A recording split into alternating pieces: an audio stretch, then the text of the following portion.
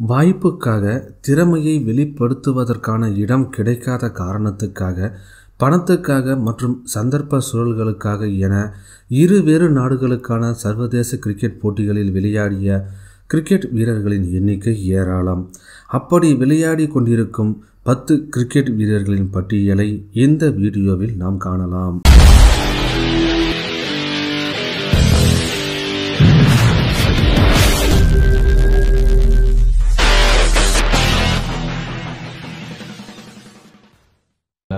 வணக்கம் நான் ஆர்ஜே பாலாஜி. இந்த சேனலுக்கு நீங்கள் சப்ஸ்கிரைப் பண்ணுங்கள் லைக் பண்ணுங்கள் ஷேர் பண்ணுங்கள் thank you so much bye cricket போட்டியை தொழில் ரீதியாக கையாளும் வீரரான டெர்க் நேனஸ் ஒன்பது நாடுகளில் பதினைந்து விதமான கிரிக்கெட் போட்டித் தொடர்களில் பங்கேற்றிருக்கிறார். இரண்டாயிரத்தி ஒன்பதாம் ஆண்டு டி டுவெண்டி உலகக்கோப்பை போட்டித் தொடரில் நெதர்லாந்து அணிக்காக விளையாடி சர்வதேச கிரிக்கெட்டில் அறிமுகமான இவர் அடுத்த இரண்டு மாதங்களுக்கு பிறகு விளையாடியது ஆஸ்திரேலிய அணிக்காக. இரு அணிகளுக்கும் பதினெட்டு சர்வதேச கிரிக்கெட் போட்டிகளில் மட்டுமே விளையாடி இருந்தாலும் இவரது துல்லியமான பந்து வீச்சுக்கு ரசிகர்கள் அதிகம். ஐபிஎல் போட்டிகளில் சென்னை பெங்களூரு மற்றும் டெல்லி அணிகளுக்காக விளையாடிய டர்க் டேனிஸ் தற்பொழுது கிரிக்கெட் வர்ணனையாளராக உள்ளார். எட் ஜாய்ஸ் இரண்டாயிரத்தி ஆறாம் ஆண்டில் அயர்லாந்துக்கு எதிரான ஒருநாள் போட்டியின் மூலம் இங்கிலாந்து அணியில் அறிமுகமான எட் ஜாய்ஸ் தற்பொழுது முழு நேர அயர்லாந்து கிரிக்கெட் வீரராக உள்ளார். இரண்டாயிரத்தி ஏழாம் ஆண்டு நடைபெற்ற உலகக்கோப்பை தொடரில் இங்கிலாந்து அணிக்காக விளையாடியவர் இரண்டாயிரத்தி பதினொன்றாம் ஆண்டில் அயர்லாந்து அணிக்காக ஆடினார். அயர்லாந்தின் டப்ளின் நகரில் பிறந்த இவருக்கு இரண்டு சகோதரர்கள் இரண்டு சகோதரிகள். அனைவருமே அயர்லாந்து கிரிக்கெட் வீரர்கள் என்பது ஆச்சரியம். Luke Ronchi. நான்கு டெஸ்ட் எண்பத்தி ஐந்து ஒருநாள் போட்டிகள் மற்றும் முப்பத்தி ரெண்டு சர்வதேச இருபது ஓவர் போட்டிகளில் விளையாடி சமீபத்தில் ஓய்வு பெற்ற நியூசிலாந்து வீரரான லூக் ராஞ்சி சர்வதேச கிரிக்கெட் போட்டியில் அறிமுகமானது ஆஸ்திரேலிய அணி வீரராக. தாய்நாடு நியூசிலாந்து என்றாலும் சில காரணங்களுக்காக ஆஸ்திரேலியா குடிபெயர்ந்த ராஞ்சியின் குடும்பம் ஆஸ்திரேலியா அணியில் இணைந்து சில போட்டிகளில் விளையாடியவர் இரண்டாயிரத்தி பதினெண்டாம் ஆண்டில் நியூசிலாந்து திரும்பி தாய்நாட்டுக்காக விளையாடும் முயற்சியை தொடங்கினார். முயற்சி திருவினையாகி இரண்டாயிரத்தி பதிமூன்றாம் ஆண்டில் நியூசிலாந்து கிரிக்கெட் அணியில் இடம் கிடைத்தது. விக்கெட் கீப்பரான ராஞ்சி இலங்கைக்கு எதிராக ஒருநாள் போட்டியில் ஏழாவது வீரராக களமிறங்கி நூற்று எழுபது ரன்களை விளாசியிருக்கிறார். விக்கெட் கீப்பர்கள் அடித்த தனிநபர் அதிகபட்ச ரன்களில் மூன்றாம் இடம் இது. இது தவிர ஏழாவது வரிசையில் விளையாடிய வீரர் ஒருவர் சர்வதேச போட்டிகளில் அடித்த அதிகபட்ச ரன்களில் இது முதலிடத்தை பிடித்துள்ளது. ஆண்டர்சன் கமின்ஸ் வேகப்பந்து வீச்சாளரான ஆண்டர்சன் கமின்ஸ் ஐந்து டெஸ்ட் எழுபத்தி ஆறு ஒருநாள் போட்டிகளில் விளையாடியிருக்கிறார். ஆயிரத்தி தொள்ளாயிரத்தி தொண்ணூற்றி ஓராம் ஆண்டில் சர்வதேச கிரிக்கெட் போட்டியில் வெஸ்ட் இண்டீஸ் அணிக்காக அறிமுகமானார். ஆயிரத்தி தொள்ளாயிரத்தி தொண்ணூற்றி ஆறாம் ஆண்டுக்கு பிறகு கிரிக்கெட் போட்டிகளில் விளையாடுவதை தவிர்த்து கனடாவுக்கு குடிபெயர்ந்தார். பத்து வருட இடைவெளிக்கு பிறகு கனடா கென்யா ஸ்காட்லாந்து அணிகளுக்கு இடையேயான முத்தரப்பு கிரிக்கெட் போட்டித் தொடரில் கனடா அணி வீரராக தனது நாற்பதாவது வயதில் அறிமுகமானார். தொடர்ந்து இரண்டாயிரத்தி ஏழாம் ஆண்டு உலகக்கோப்பை தொடரிலும் கனடா அணிக்காக விளையாடிய கமின்ஸ் தற்பொழுது கிரிக்கெட் பயிற்சியாளராக உள்ளார்.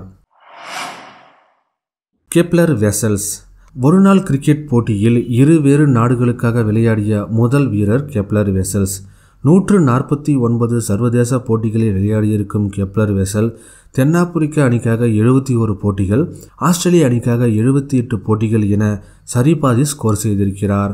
ஆயிரத்தி தொள்ளாயிரத்தி எண்பத்தி மூன்றாம் ஆண்டு உலகக்கோப்பை போட்டியில் ஆஸ்திரேலிய அணிக்காக விளையாடியவர் ஆயிரத்தி தொள்ளாயிரத்தி எண்பத்தி ஐந்தாம் ஆண்டில் தன் ஓய்வை அறிவித்தார். தென்னாப்பிரிக்காவுக்கு குடிபெயர்ந்து உள்ளூர் போட்டிகளில் விளையாடினார். உள்நாட்டு பிரச்சனை அனுபவம் இல்லாத வீரர்கள் என பரிதாபமாக நின்ற தென்னாப்பிரிக்க அணி கெப்லருக்கு கேப்டன் பொறுப்பு கொடுத்தது. ஆயிரத்தி தொள்ளாயிரத்தி தொண்ணூற்றி இரண்டாம் ஆண்டு உலகக்கோப்பை போட்டிக்கு தென்னாப்பிரிக்க அணியை வழிநடத்த அழைத்தது. முதல் போட்டியே முன்னாள் அணியான ஆஸ்திரேலியாவுக்கு எதிராக அமைய அணியை வெற்றி பெறச் செய்து அசத்தினார் கெப்லர் இந்த உலகக்கோப்பை தொடரில் தென்னாப்பிரிக்க அணி அரையிறுதி வரை வந்தது. பிறகு தன் ஓய்வு முடிவை உறுதி செய்துவிட்டு கிரிக்கெட் பயிற்சியாளராக தொடர்ந்து கொண்டிருக்கிறார். இயன் மோர்கன் இங்கிலாந்து கிரிக்கெட் அணியின் தற்போதைய கேப்டனான இயன் மோர்கன் இரண்டாயிரத்தி ஆறாம் ஆண்டு ஸ்காட்லாந்துக்கு எதிரான ஒருநாள் போட்டியில் அயர்லாந்து அணிக்காக அறிமுகமானவர். நல்ல பேட்ஸ்மேன் குட் ஃபினிஷர் என்று பாராட்டப்பட்ட மோர்கன் அயர்லாந்தில் இருந்து இங்கிலாந்து அணிக்காக இடம்பெயர்ந்து அசத்தி கொண்டிருக்கிறார். டூகி பிரவுன் ஆயிரத்தி தொள்ளாயிரத்தி தொண்ணூற்றி ஏழாம் ஆண்டில் இந்தியாவுக்கு எதிரான ஒருநாள் போட்டியில் இங்கிலாந்து அணிக்காக அறிமுகமானார் பிரவுன். இங்கிலாந்து அணிக்காக ஒரு சில போட்டிகளில் விளையாடியவர் பிறகு நமீபியாவுக்கு குடிபெயர்ந்து உள்ளூர் போட்டிகளில் விளையாடினார். இரண்டாயிரத்தி மூன்றாம் ஆண்டில் நடந்த உலகக்கோப்பை தொடரில் நமீபியா கிரிக்கெட் அணியின் பயிற்சியாளரான இவர் பிறகு ஸ்காட்லாந்தில் உள்ள அணிகளுக்கும் பயிற்சி கொடுத்தார். டெஸ்ட் அந்தஸ்து பெறாத அணிகளுக்கு இடையே நடைபெறும் சாம்பியன் போட்டித் தொடரில் ஸ்காட்லாந்து அணி முன்னிலை பெறுவதற்கு பிரவுன் பயிற்சி அளித்ததோடு ஸ்காட்லாந்து அணிக்காக களத்திலும் விளையாடினார். இரண்டாயிரத்தி ஏழாம் ஆண்டில் நடந்த உலகக்கோப்பை தொடரில் ஸ்காட்லாந்து அணி இடம்பெற்றது. ஆல்ரவுண்டரான டூகி பிரவுனும் ஸ்காட்லாந்து அணியில் இடம்பெற்றார். தற்பொழுது ஐக்கிய அரபு அமீரட்ஸ் அணியின் கிரிக்கெட் பயிற்சியாளராகவும் இருக்கிறார். Geraint Jones Papua New Guinea நாட்டில் பிறந்து முப்பத்தி ஒரு டெஸ்ட் போட்டிகள் ஐம்பத்தி ஒரு ஒருநாள் போட்டிகளில் விளையாடியிருக்கும் ஜெரேன் ஜோன்ஸ் இரண்டாயிரத்தி ஐந்தாம் ஆண்டில் நடந்த ஆஷஸ் தொடரில் விக்கெட் கீப்பராக சிறப்பான பங்களிப்பை இங்கிலாந்து அணிக்கு வழங்கியவர். இங்கிலாந்து அணியில் இருந்து வெளியேறி பப்புவா நியூ கினியா அணிக்காக விளையாடத் தொடங்கினார்.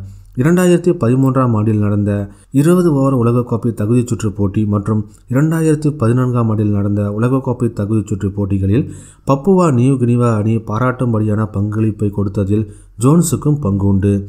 தற்பொழுது கிரிக்கெட் பயிற்சியாளராக பணியாற்றி கொண்டிருக்கிறார். ரியான் கேம்பல் இரண்டு ஒருநாள் கிரிக்கெட் போட்டி மூன்று டி டுவெண்டி கிரிக்கெட் போட்டிகள் மட்டும் விளையாடி இருந்தாலும் ஆஸ்திரேலியாவின் முதல் தர கிரிக்கெட் போட்டிகளில் முக்கியமான விக்கெட் கீப்பர் பேட்ஸ்மேனாக ஜொலித்தவர் ஆஸ்திரேலிய அணியின் எவர்கிரீன் விக்கெட் கீப்பரான ஆடம் கில்கிரிஸ்ட் ஓய்வு பெறும் வரை தன் இடத்தை தக்க வைத்து கொண்ட காரணத்தால் ஆஸ்திரேலியாவிற்காக அதிக அளவு சர்வதேச போட்டிகளில் ரியன் கேம்பல் இடம்பெற முடியவில்லை. தவிர்க்க முடியாத காரணத்தினால் ஆடம் கில்கிரிஸ்ட் அணியில் இடம்பெறாத போட்டிகளில் மட்டும் ரியன் களமிறங்க முடிந்தது. இதைத் தொடர்ந்து ஹாங்காங் கிரிக்கெட் அணியின் பயிற்சியாளராக இருந்த ரியன் கேம்பல் இரண்டாயிரத்தி பதினாறாம் ஆண்டில் நடந்த டி டுவெண்டி உலகக்கோப்பை தொடரில் ஹாங்காங் அணி கலந்து கொள்ளும் வாய்ப்பை பெற தனது நாற்பத்தி நான்காவது வயதில் ஹாங்காங் அணிக்காக விளையாடினார். தற்பொழுது நெதர்லாந்து கிரிக்கெட் அணியின் தலைமை பயிற்சியாளராக இருக்கிறார் Ryan Campbell